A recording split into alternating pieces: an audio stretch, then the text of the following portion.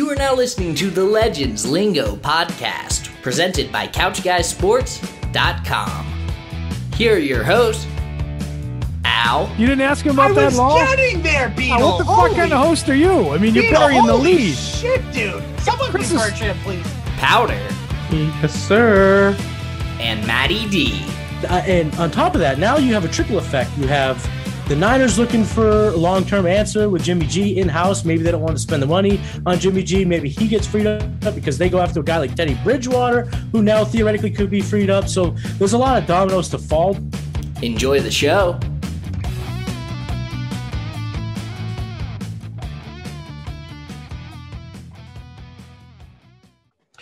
What's up, everybody? Welcome back to the Legends Lingo Podcast, episode 120, presented as always by CouchGuySports.com. Go check out CouchGuySports.com. Check out the blogs, check out the podcast, check out the Twitch channel, which is actually live as we're recording. So you'll be able to watch it on our Twitch channel, Couch Guy Sports on Twitch. Go check that out and subscribe if you have Amazon Prime. It's free. Check out our YouTube channel. You'll see all of our great YouTube content up there. Couch Guy Sports Podcast is up there. Our episodes are up every week. Besides, obviously, this episode, our episode last week with 98.5's Bob Socci is officially up, talking Pat's draft analysis. I'm your host, Alan Hegan, alongside, as always, Tom Powder and Matty DeRozier.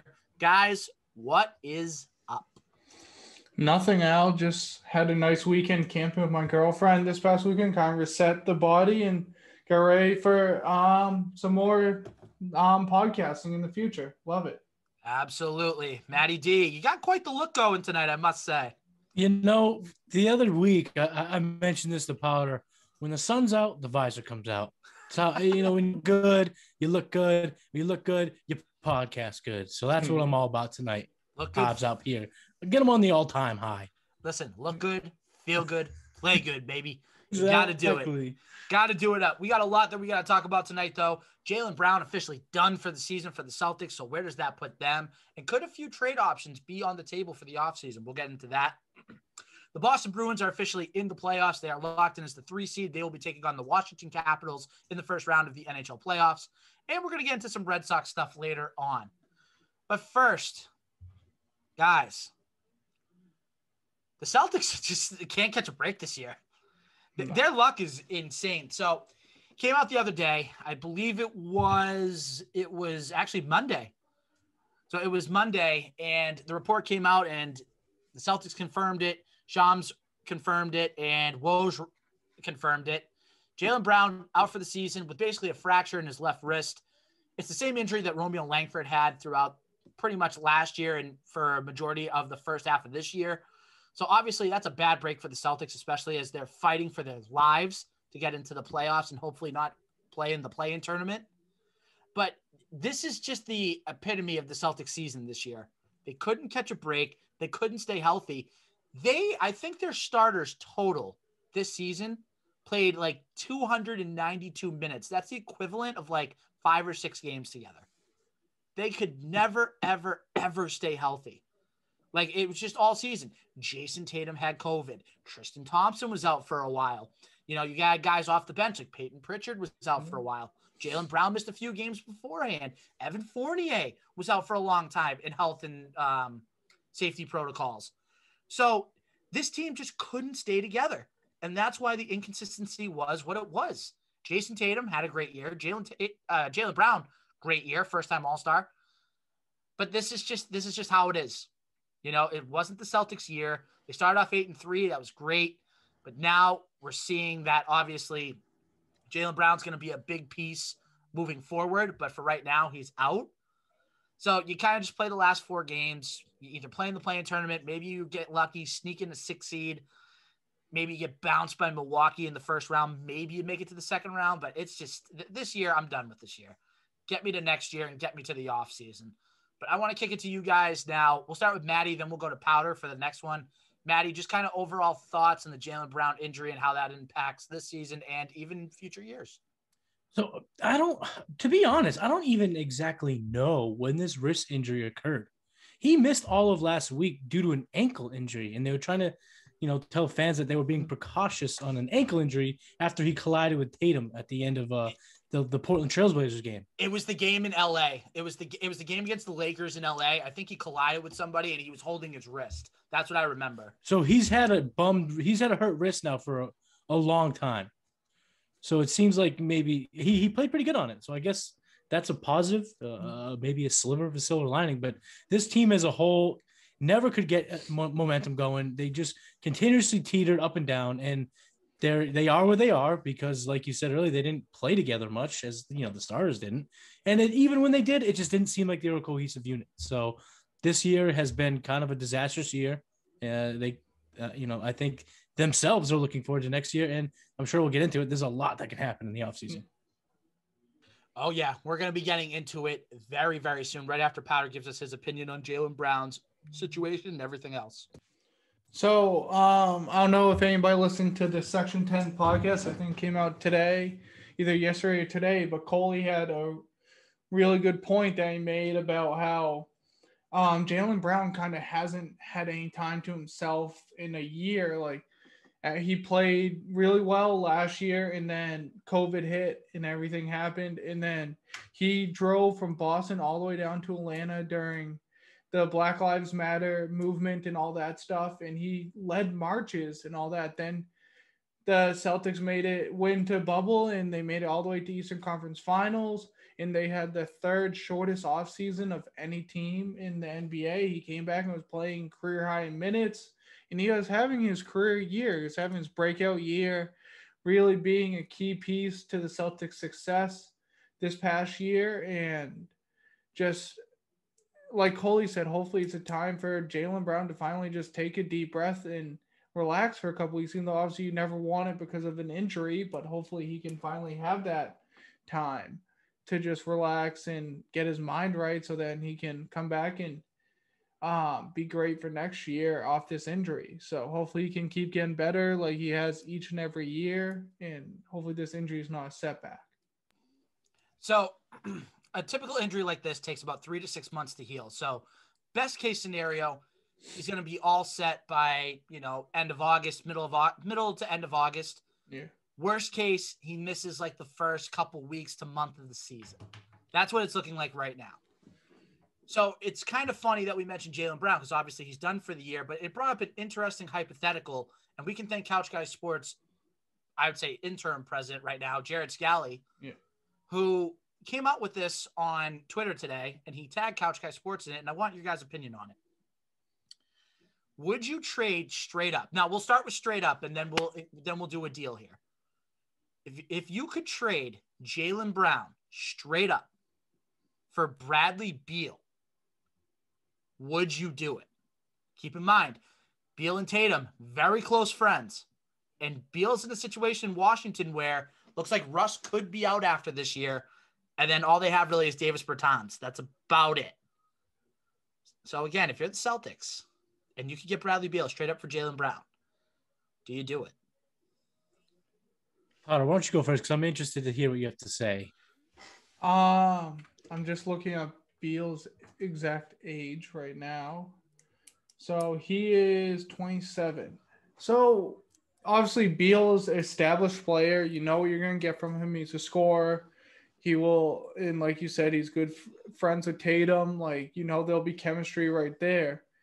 But i don't know if i would do it because brown just he's so young. He has he i think he has so much to grow and i think he could become a legit star in this league. Maybe not a superstar but a legit star and be the number two on this team for next five to ten years where beal yeah you have him and he could be good for maybe five years, but he's already 27. So once you get on the other side 30, that's when you start that decline probably. So hopefully, like I think Brown has another good 10 years on him that the Celtics can keep him. I think Brown is definitely, uh, I think in my opinion, better option for the long term. So I would keep Brown. Okay. Matty? See, I think I would do it. Now, I love Jaylen Brown. I love what he represents. I love what he does off the court. I love that he's a part of the Boston Celtics while doing those things. But at the end of the day, it, it, they need, for lack of a better term, they need their clubhouse leader. They need their like the the the top dog. The the two guys they have now just aren't taking the team to the next level. And if you can get, you know, the guy who was leading the league and scoring for a majority of the season, you know, you do it. And you got three years before 30, like you just mentioned, Powder. So I-. I'm pulling that trigger. And you know what? I'm going to agree with you. Ma- heart. With a heavy heart. Of I course. it, I will. So, so I'm going to agree with you, Matty. I think I pulled the trigger on this trade too, because you know what? This is also, and this is going to go into sort of our next little kind of hypothetical here. If you could do a deal with Washington where you sent along, excuse me, you sent along Kemba Walker, you send along, you can either send along Kemba or Marcus Smart. Maybe you re-sign Smart and then you do a sign and trade with him.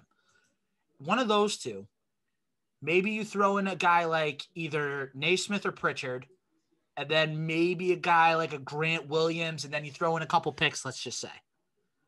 You're telling me that that's not enough to entice Washington to want to trade Bradley Beal when you're getting three or four quality players and you're getting picks out of it when you're probably going to restart anyway? I mean, I don't know. That's just me. Because if you're Bradley Beal, you should be wanting to get out of that situation. Washington's not going anywhere but Boston can go somewhere if Danny, excuse me, if Danny Ainge actually pulls the trigger and makes a move. Because let's think about this: Kevin Garnett, Isaiah Thomas, Kyrie Irving. What other trades has he really made in his about 20 years here? That have worked out. I mean, And Ray Allen, sorry, and Ray Allen. Right. The, the the big three, you know, getting those two trades done, those worked.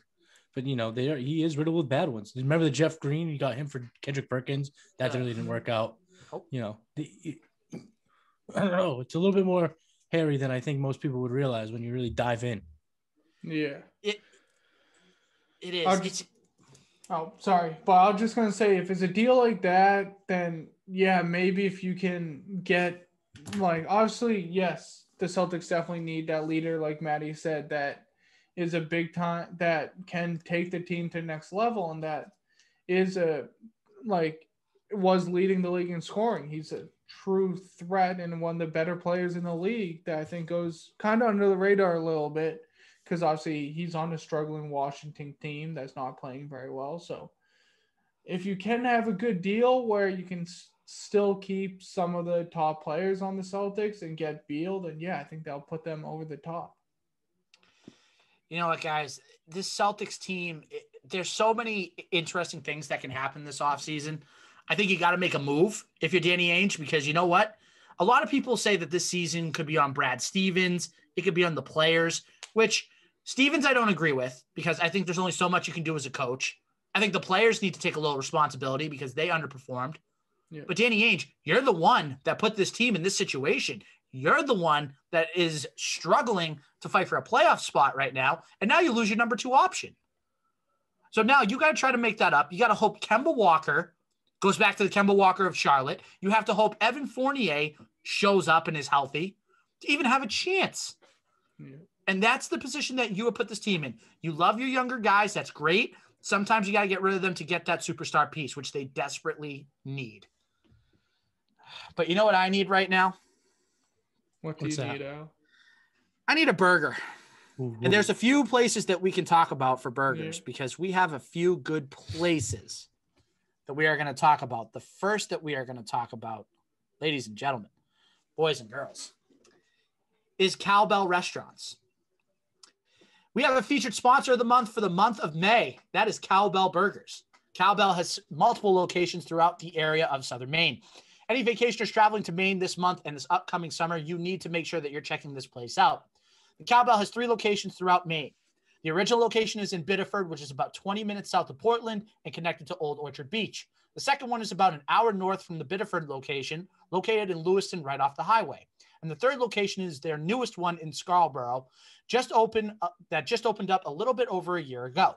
Cowbell has received multiple accolades in the past five years of existence. One of them being the top ones, and I'm telling you right now, the top award that they've gotten is being named Maine's best burger in the past two years in the number one most popular vacation guide magazine. That magazine, Down East Magazine. So they're getting pretty good notoriety here. So mm-hmm. make sure you go get a burger while you're in Maine. Going to Cowbell is a must try if you get the chance to travel to Maine anytime in the future. And we're going to sweeten up the deal a little bit. We got a little deal for all you listeners out there.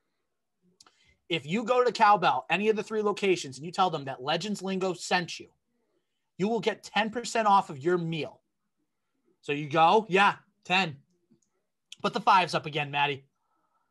10, 10% off just by going in and saying that Legends Lingo sent you to these restaurants.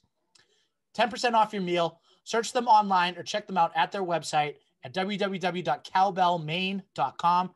Cowbell one of the best burgers you'll eat if you're in the state of Maine. 10% off if you tell them that Legends Lingo sent you. Love it. Shout out to Cowbell for being our sponsor of the month. But we're going to get into a different topic now. We're going to get into the Boston Bruins for a little bit. We don't mm-hmm. talk we don't mm-hmm. talk hockey much on this podcast, but the playoffs are around the corner and we got to talk about it a little bit. So, Boston Bruins have finished off. They're actually they're finishing up their regular season as we're recording. So, as you're listening to this or as you're watching this, the Bruins regular season is done and they are set to take on the Washington Capitals in the first round of the NHL playoffs. And it is a 7:15 start time for game 1 in Washington. Now, these teams aren't they're very they're very familiar with each other. They played each other 8 times this year with the NHL realignment. And I got to tell you guys something. I'm ready to get I'm ready to be on the NHL bandwagon again. This is the time to shine. Oh Yeah. yeah. This is the time for the casual fans to shine. I'm a casual fan, but I love the Bruins in the playoffs. They are so fun to watch. I'm going to try to watch every game, every period, every chance I get. I'm going to try to watch them. This is going to be an exciting matchup. I think it's going to be a physical matchup. And honestly, I just want to see that dirtbag Tom Wilson cry. I want somebody to literally put him in his place, and I want the Bruins to come out of this series ready to go the next round. My series prediction I got the Bruins in six. I think it's going to be a tough matchup. I think it's going to be a good matchup. But ultimately, I think the Bruins are very talented. Their first line, that quote unquote perfection line of, of Pastrnak, Marchand, and Bergeron, is a line that's going to be tough to compete with. And that second line with David Krejci, Taylor Hall, and Craig Smith. Oh my goodness, the options. That second line has been rejuvenated since Taylor Hall came at the deadline. So my final prediction: Bruins in six in the first round.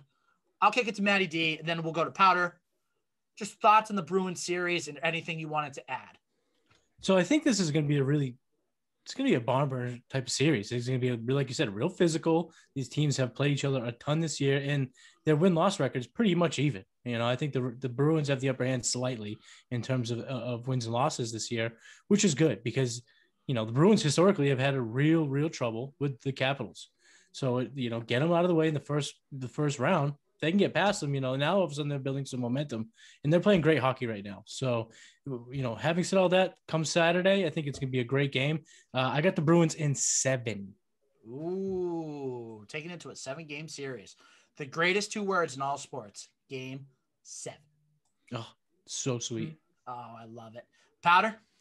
Yeah, just kind of going off what Matty said. The Bruins had the season series four, one, and two as of right now. Aren't they playing the Caps tonight too to finish Yeah, the- th- yeah, they're both playing their their um their their minor league rosters essentially. So yeah. Yeah. So the Bruins have the season series, but like both you just said, it's very close. And I'm gonna agree with Matty. I'm gonna take the Bruins in seven. I just think it's gonna come down to that last game. And I think the like Al, you said, the top line of the Bruins, I just think because obviously Ovechkin's been a little banged up this year. I think just having the top line of the Bruins, I think they're just gonna come big that game seven, and the Bruins are gonna take it, but it's gonna be physical. It's going to be exactly what you want to see out of a hockey playoff series. And it's funny to see our old friend Zdeno Chara come back in his first playoff run without the Bruins in a long, long time. And of course, it's against the Bruins, but it'll be fun to see him play a little bit. And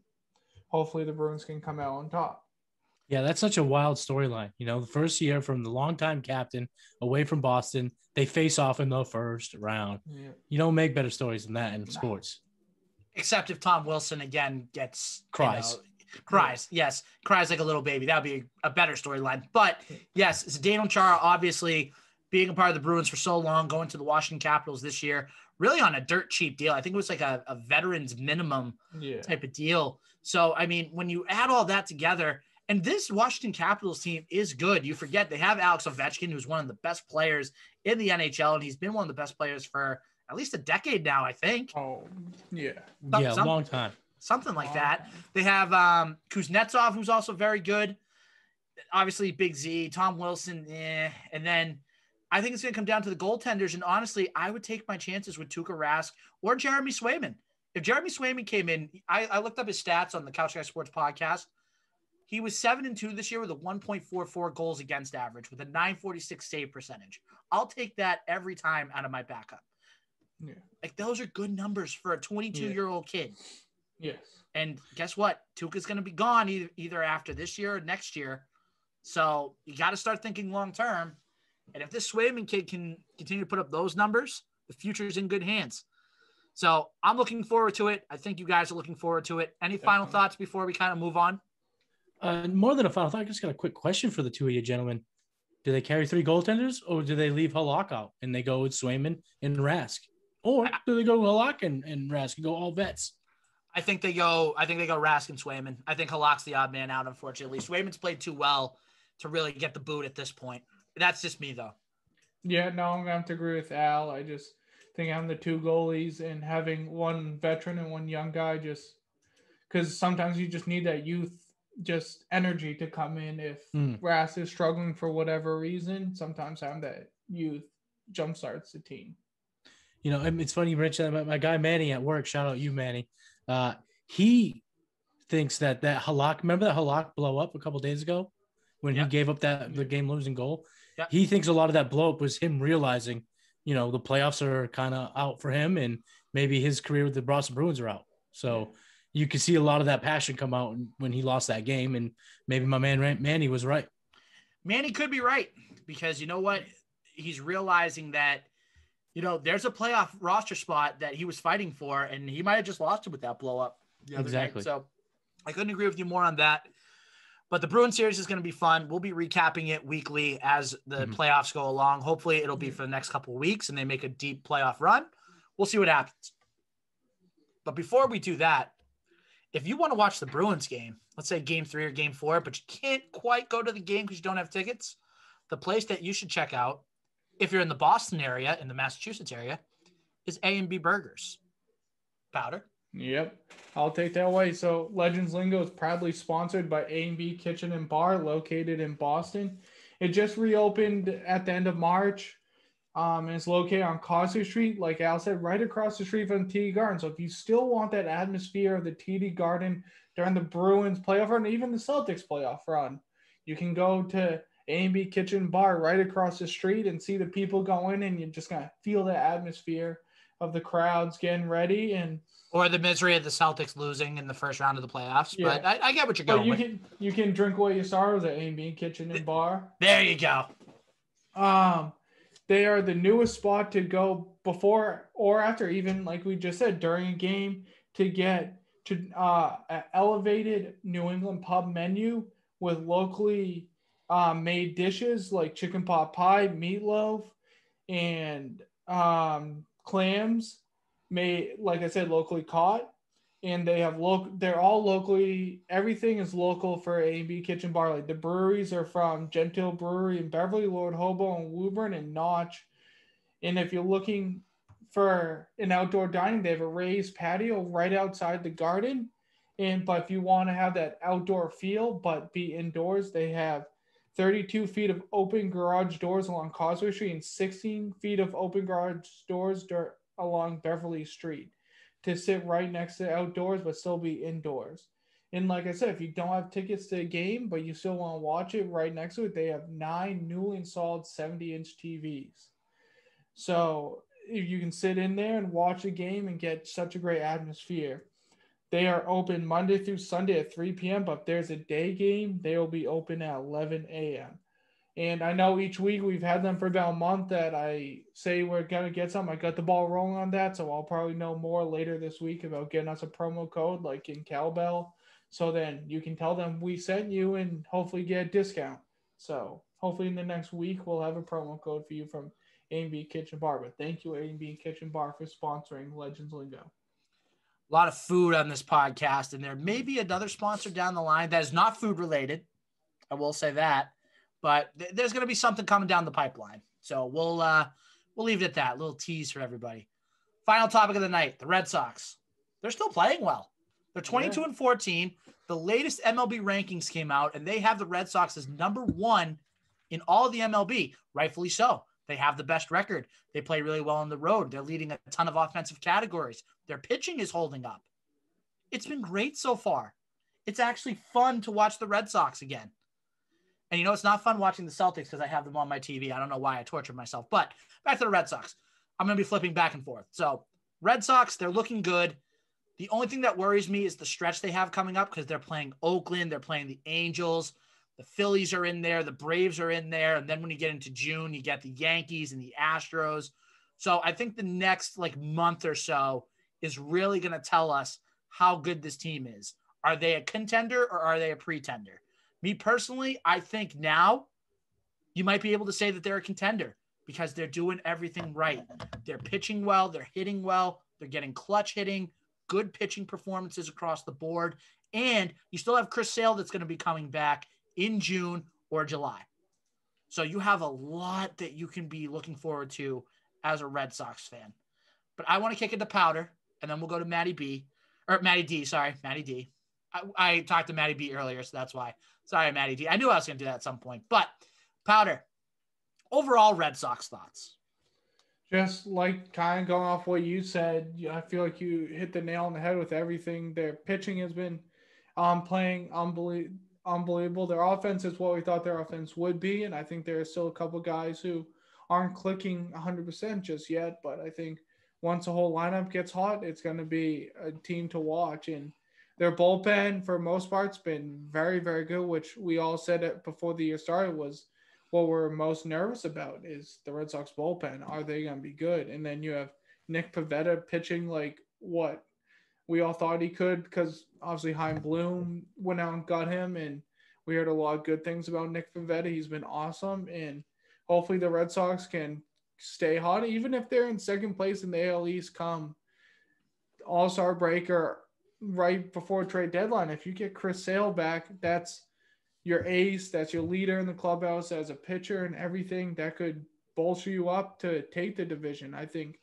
I think Al, I agree with you. I think they're definitely contenders, but this next month where we really have to see if they're gonna if they're playing like the Yankees are starting to turn around and look like a very good team. Stanton's very hot right now, so Mm-hmm. You run into them when they're playing well. Like you want to see if the Red Sox can stand up to the Yankees and the Astros and the better teams in the whole league and see how they really are. So hopefully this next month the Red Sox keep playing above 500 baseball, and we can keep saying, hey, they're one of the best teams in all of MLB. Well said. Matty? Yeah, I believe this team are contenders. I mean, if you guys remember when we did our preseason talk, I had them win an AL East. So I've always been pretty high on this nucleus in this team in, as a gen in, in general. Uh, you guys mentioned the Yankees. They're actually playing good, and I think that's fantastic. I much would I would much rather have a Yankees Red Sox battle where they're both good, because when one stinks, let's face it, it, it just it, it weighs down the summer just a little bit. Yeah. But this team, their offense, like we mentioned, is it's one of the best in the league, leading the league in runs, average, slugging, and one stat that stands out to me as a team that I just think is is great for their long term success. They are 28th in K percentage, meaning they strike out the third least in baseball. And in a game where average as isn't at an all time low, pitching Ks are at all time high, whiffs, all that stuff, record highs. The Red Sox are bucking the trend and their offense is clicking. And I think a lot of this has to do with their play IQ and their ability to, to score runs. Full heartedly agree. And I think that's a great stat you bring up because at any level, not just the MLB level, it can be the high school level, it can be the youth level, it can be the college level. If you're striking out more more than half the time, you're making it easy for the other team. Very, very Yeah. easy. You don't have to make as many plays. But if you're putting the ball in play more often than not, you're forcing the other team to make, you know, if it's a 27 out game, you know, nine inning game, you want to force them to make 17 outs. You want to force them to make, you know, 18, 19, 20 outs in a game if possible in the field. And that's something that the Red Sox are doing, which is great. Now, one little tidbit I wanted to talk about, and then we can talk about something in the MLB that might be going on. And then we'll get out of here for the night. Michael Chavis. Now, obviously, he's been brought up because uh, Kike Hernandez is on the IL right now. So here's my thing Michael Chavis had a great spring training. He's a guy that has proven he can handle being up at the big league level. So my question is this: If he plays well, if he's hitting the ball well and he's playing well defensively, is it a tough choice for the Red Sox to make and be like, should we really send him back down? Or do they believe that much in guys like Bobby Dalbec and Franchy Cordero that they can just say, thanks for your service, Chavis, go back down to Worcester? Yeah, I think I you know I think to answer that question, I think in the short term he is their go between from you know Worcester to Boston, and he'll fill in for injuries. Uh, long term, I could see him being kind of a, a fluffer for a trade because uh, I don't know if they are going to really give him the opportunity. Cora came out, I think, this afternoon and mentioned that both uh, Arroyo and Hernandez will be back immediately when their DL stints are up. So uh, that means Chavis goes that back down to the minors, and I th- think that's what you'll see a lot of this year. And eventually, if there aren't any catastrophic injuries to the lineup, I think you see him traded. Okay, Pat. Yeah, I have to agree with Matty. I just think he's going to be used as trade bait because, like you said, Al, he's definitely proven he can play at the big league level. So there's definitely a team that could use a guy who's kind of utility guy. He has proven he can play a couple different positions in the field. He's played first, played second, played third, played left field. Like you kind of bounce him around all over the place. So there, there has to be a team that can add a power bat that can play kind of anywhere so even if he's guy off a bench for someone, he probably would like that more than a being a minor league player for the Red Sox. So hopefully, like I hope for the best for Michael Chavis. Obviously, I'd love to see in a Red Sox uniform, but if it has to be somewhere else, then good luck to him, and hopefully it brings back a big return for the Red Sox. So one last thing that we're going to talk about, and this is MLB based, because if you remember our early days, we were an MLB centric podcast, but then we decided to focus more on Boston sports, but that's okay. In the overall MLB, the Oakland Athletics are potentially looking at changing locations. So this is just a real simple question. It'll be quick, and then we'll get out of here for the night. Do you want to say? Do you want to see the Athletics stay in Oakland, or would you rather see them move? And if you want to see them move, where would you like to see them go? So I have actually watched baseball games at the Oakland Coliseum, and that place is a absolute dump toilet bowl terrible place to see a game. Awful. I have nothing nice to say about that stadium at all. At all. So if they tell I'm us how you really moving. feel, yeah, I am all for them moving, and if they do, I'd like to see them go to Portland. You know, Portland seems to be a pretty good baseball town that's kind of untapped in terms of the market. You know, it'd, be an instant rivalry with the Mariners, and uh, you know, let's face it, the the whatever whatever the powers at that be in Oakland, whether it be the team owners or the city in general, none of them have done either one a favor. The stadium's decrepit. They don't do anything for one another. They keep threatening new stadiums, pulling the proposals, threatening to relocate, pulling that back. I think it's finally time for them to break up. Uh, apparently, professional sports teams in Oakland aren't a good fit. You know, we just saw Oakland leave. Uh, uh, the Golden State Warriors are moving out of Oakland and moving to a neighboring city. Maybe it's time for the A's to follow suit and head to the Pacific Northwest and play in Portland. Um, so I have two places in mind. Like there has there the projected stadium that they wanted that I think just got turned down was going to be absolutely beautiful, but obviously that's probably not going to happen. I have two places, either Las Vegas. I just think you saw the Ra- the Raiders did, and you see how the um, Knights do. It's I think it's a good sports town, but I kind of want to see a baseball team back in Montreal. I think the Montreal fans are diehard. I think Canadian baseball fans are diehard. If I know when the Blue Jays aren't good, the Rogers is kind of dead, but when they're good, that place I want to go there so bad, especially in the playoff atmosphere. I've heard it's there's nothing like that place when it's rocking. Like when the Batat, Bautista bat flip, like I just seen that place shake. Like I think the Canadian baseball fans need another team. I don't think just one is enough for them. And I think getting a team back into Montreal would be great for baseball. I think it's a great call. Great call, Powder. Okay. I, I got I got a place. If they move, I would like to see them go to Las Vegas because I think having a baseball team a football team and a hockey team for that state and that just area would mhm. be phenomenal. It would be great, plain and simple. I don't think there's much more to say to that.